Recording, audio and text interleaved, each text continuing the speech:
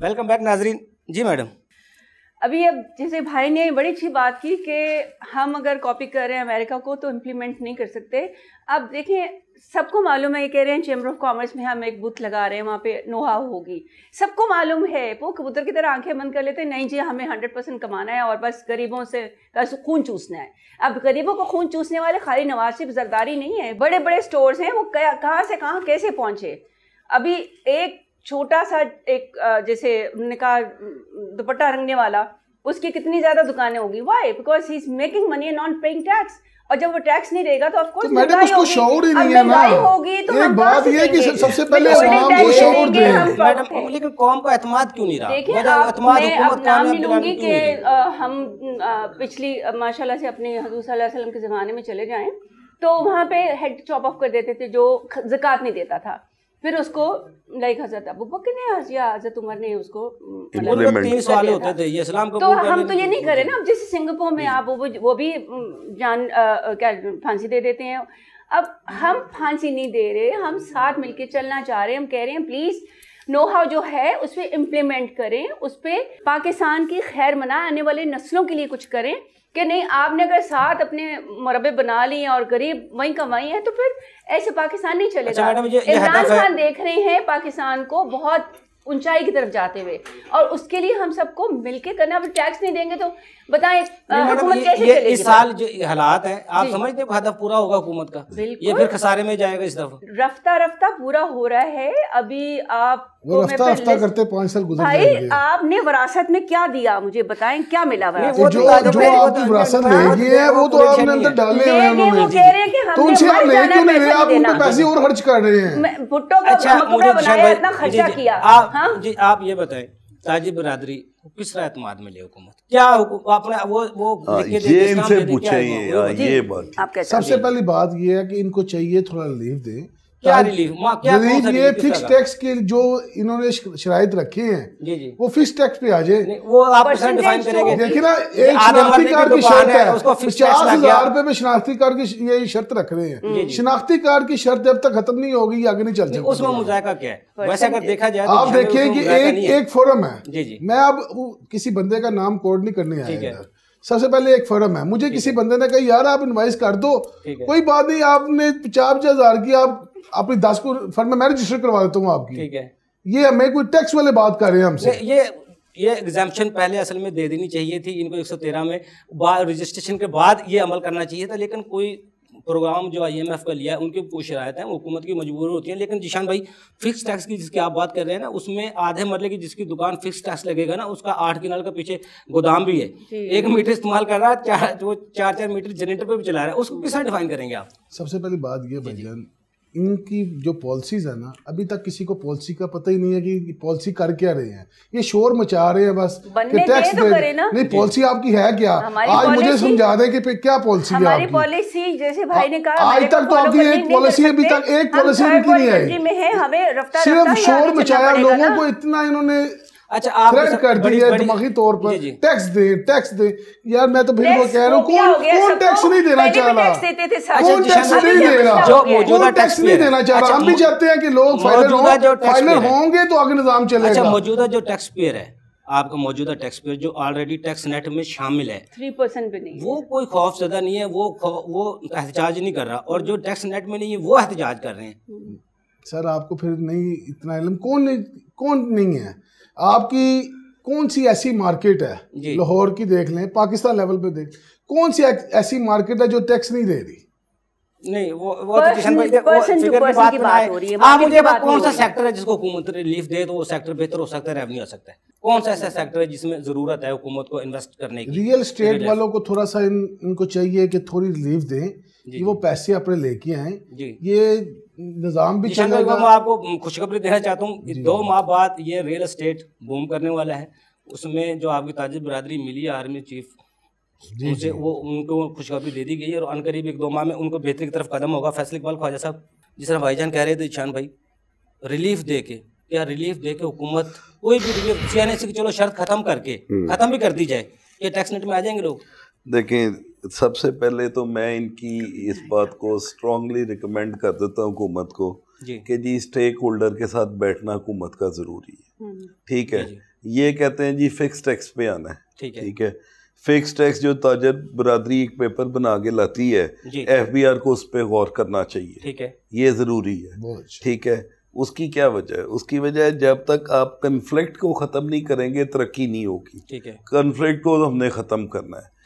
جہاں تک رہے گی شناختی کارڈ کی شرط کی بات جی۔ دیکھیں ہر آدمی کا ایک اپنا زاویہ نظر ہے سوچنے کا۔ میرے ذاتی خیال میں یہ شرط کوئی اتنی نجائز نہیں ہے۔ وجہ کیا ہے کہ جب ایک آدمی کوئی پرچیز کرنے جاتا ہے کیا اس نے یہ ایکسپینس اپنی ویلتھ میں شو کیا ہے یا نہیں کیا؟ اس کی ایک ہی یارڈ سٹک ہے وہ یہ ہے کہ اس کے آئی ڈی کارڈ سے اسے ٹریس کیا جائے۔ ٹھیک ہے؟ جی۔ اب یہاں تک حکومت نے ان سے کہہ دیا کہ اب شناختی کارڈ لے لیتے ہیں تو ہم اس کی ویریفیکیشن نہیں کریں گے۔ شناختی کارڈ موجود ہونا چاہیے ٹھیک ہے۔ اب فار ایگزامپل میں فیصل اقبال خواجہ میں اپنی ویلتھ اسٹیٹمنٹ بھرتا ہوں تو اس میں میں نے ایک پرسنل ایکسپینڈیچر پہ فارما دینا ہوتا ہے۔ جس میں میں بتاتا ہوں کہ میرے ایجوکیشن پہ کتنے ایکسپینسز تھے میرے ہاؤس ہولڈ کے کتنے ایکسپینسز تھے میری کلبنگ کتنی تھی میرے فورن ٹریولز کتنے تھے۔ یہ ساری چیزیں میں نے اس میں ڈیٹیل کرنی ہوتی ٹھیک ہے۔ اس کو ڈیٹیل کو ویریفائی کرنے کا ایک ہی طریقہ ہے کہ جہاں پہ میں نے کوئی ایکسپینس کیا ہے بڑا فار ایگزامپل میں وینکور گیا ہوں کینیڈا۔ ٹھیک ہے۔ میری فیملی گئی ہے تو اٹھارہ لاکھ روپے کی ٹکٹیں آئیں۔ ٹھیک ہے؟ اب وہ اٹھارہ لاکھ کی ٹکٹیں میرے پرسنل ایکسپینڈیچر پرفارمے میں شو ہونی چاہیے۔ ٹھیک ہے؟ وہ کوئی بھی بندہ نہیں کرتا۔ وہ کہتے جی یہ کیا ضرورت ہے بتانا۔ دیکھیں آپ نے ایک ایکسپینس کیا ہے۔ اگر آپ نے لیجیٹیمیٹ منی میں سے کیا ہے تو پھر اپنا شناختی کارڈ دیں۔ شناختی کارڈ سے وہ اگلے ٹریس کر لیں گے۔ ادر وائز اور کوئی طریقہ نہیں کوئی یارڈ سٹیک نہیں ہے ان چیزوں کو چیک کرنے کے لیے۔ اب دیکھیں نا یہ کیا فورس کریں آج کل نئے نوٹسز جو ایف بی آر سے آ رہے ہیں وہ آ رہے ہیں پاسپورٹس کی بنیاد پہ۔ ٹھیک ہے۔ نیا ریکارڈ انہوں نے نادرا سے اور پاسپورٹ آفیسز سے لیا ہے لوگوں کے فورن ٹریولز کا۔ جی۔ ٹھیک ہے۔ اس کی بیس پہ لوگوں کو اب وہ آنے شروع ہو گئے ہیں نوٹسز کہ آپ نے یہ فورن ٹریول جو ہے یہ اپنی ویلتھ سٹیٹمنٹ میں پرسنل ایکسپینڈیچر پرفارمے میں ڈکلیئر نہیں کیا۔ یہاں تو آپ وہاں جا کے کہیں گے کہ میں گیا تھا یہاں کہیں گے نہیں گیا تھا۔ اگر میں گیا تھا تو وہ پیسے میں نے کہاں سے لیے؟ ٹھیک ہے؟ میں ایک میں ایک چیز جی، جی۔ خریدنے مارکیٹ جاتا ہوں دو سو روپے کی چیز ہے۔ میری جیز میں دو سو روپے ہوں گے تو میں خریدوں گا نا۔ صاحب جس طرح حکومت نے بارہ سال میں سابقہ بارہ سالوں میں ٹیکسٹائل سیکٹر کو ستارہ بلین ڈالر کا ریلیف دیا۔ اس کے باوجود ان کی ایکسپورٹ چھبیس ارب ڈالر سے کم ہوتی سولہ ارب ڈالر تک آ گئی۔ کیا اتنا پیسہ اگر کمزور سیکٹر پہ لگایا جائے تو آگے نہیں آ سکتا؟ دیکھیں بھائی بات دیکھیں جو سبسڈیز دی جاتی ہیں وہ فوکسڈ ہوتی ہیں۔ فوکسڈ ہوتی ہیں جہاں سے ریونیو جنریٹ ہوتا ہے۔ آپ کی فگرز غلط ہیں۔ ٹیکسٹائل سیکٹر نے آپ کو پچھلے دس سالوں میں کم از کم ایک سو ستر ارب ڈالر اکٹھا کر کے دیا ہے۔ جب تک ہم اس طرح کی ایکسپورٹس میں نہیں آئیں گے تب تک ہمارا ایکسپورٹ سیکٹر ڈیولپ نہیں کر سکتا۔ آپ کو آئی ٹی ایکسپورٹ میں انڈیا کو کمپیٹ کرنا پڑے گا آپ کو وہاں پہ پیسہ خرچنا ہے۔ آپ پاکستان کے آئی ٹی سیکٹر کو بوم پہ لائیں۔ انڈیا کا ایک major revenue I T export سے ہے۔ آپ مجھے یہ کہہ رہے ہیں کہ میں یہ سترہ ارب ڈالر بجلی کے بل کم کر دوں۔ ٹھیک ہے؟ آپ مجھے یہ کہہ رہے ہیں اس سترہ ارب ڈالر سے میں جو گراس روٹ لیول پہ جاگے جی، جی۔ لوگوں کو سبسیڈیز دیتا وہ بھی تو حکومت نے دی ہیں نا یار۔ دیکھیں۔ اب اس میں اٹھارہویں ترمیم کے میں شدید خلاف ہوں۔ اس کی کیا وجہ ہے؟ اس کے اس میں ہم نے ڈسنٹمنٹ کر دیا پیسہ صوبوں میں۔ ٹھیک جی، ہے؟ آپ سندھ پہ ہر دفعہ یہ الزام لگاتے ہیں کہ جتنا پیسہ انہیں جاتا ہے جی، جی۔ وہ بٹو فیملی کھا جاتی ہے یا درداری فیملی کھا جاتی۔ ہے۔ یہی الزام لگاتے ہیں نا۔ تو پھر آپ نے یہ ترمیم کیوں کی نیف ڈیک میں نہیں کیوں کی؟ مطلب اگر اگر وفاقی حکومت دیکھیں جی، ترامیم تین بٹا چار میجورٹی سے ہوتی ہیں۔ بات سمپل یہ ہے کہ اگر کوئی ترمیم ہوئی تھی accountability is the only solution میں یہ نہیں کہہ رہا کہ وہاں پہ کوئی جو سندھ گورنمنٹ ہے وہ اس کا نجائز مجھے کیا پتا؟ جی، تو مت جی۔ تو لگانی نہیں چاہیے۔ جی، ٹھیک ہے؟ اکاؤنٹیبلٹی کون کرے گا؟ وہ نیب کرے گا یا آڈیٹر جنرل آف پاکستان کرے گا۔ جی۔ ان کی رپورٹ شائع ہونی چاہیے۔ جی۔ ان کے ایکشنز نظر آنے چاہیے۔ اور ان لوگوں کو فکس کر کے ان سے پیسہ ریکور کرنا چاہیے۔ آپ میڈم کیا کہتی ہیں؟ ایک منٹ ہے بھائی بالکل صحیح کہہ رہے ہیں کہ جو پالیسی بنی ہے اس پہ امپلیمنٹ کرنے کے لیے جو ایزی وے جیسے یہ پرسنٹیج رکھتے ہیں fifty percent fifty thousand I D card کی وہ اس کے جی۔ جتنے جس کا ایکسپورٹ یا لوکل ٹریڈ ہے یا مینوفیکچرنگ ہے یا جو بھی کام کر رہے ہیں اس پہ پرسنٹیج اگر رکھ دیں ان کے ساتھ مشاورت کر کے تو آف جی، کورس جی۔ یہ بھی خوش ہوں گے۔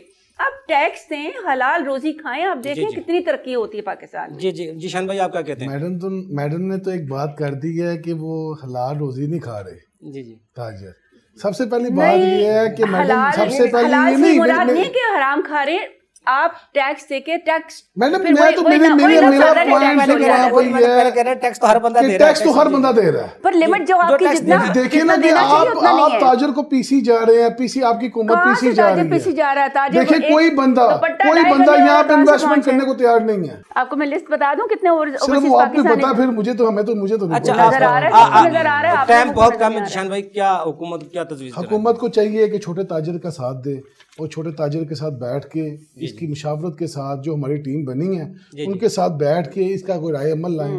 رائے عمل لا کے کہ چھوٹے تاجر کو پسنے سے بچائیں۔ لوگ خودکشیوں پہ آ رہے ہیں۔ لوگ ریلیف دے تاکہ بزنس لوگ اپنے بزنس کریں گے تو آپ کو ٹیکس دیں گے۔ اگر لوگوں کے بزنس ہی بند کر دیں تو ٹیکس کہاں سے گے جشان بھائی آپ کو بہت شکریہ میڈم آپ کو بہت شکریہ فیصل صاحب آپ کو بہت شکریہ آپ نے ہمیں ٹائم دیا۔ ناظرین پروگرام میں شامل ہونے کے لیے اسکرین پر ہمارا نمبر موجود ہے۔ اگر ٹیکس کے حوالے سے کوئی معلومات چاہتے ہیں کوئی انفارمیشن چاہتے ہیں کچھ شکایت ہے ڈپارٹمنٹ سے یا ٹیکسی سے کچھ شکایت ہے، آپ ہمیں کال کر سکتے ہیں، ای میل کر سکتے ہیں۔ اگلے پروگرام تک کے لیے افضل یوبی کو اجازت دیجیے، اللہ حافظ۔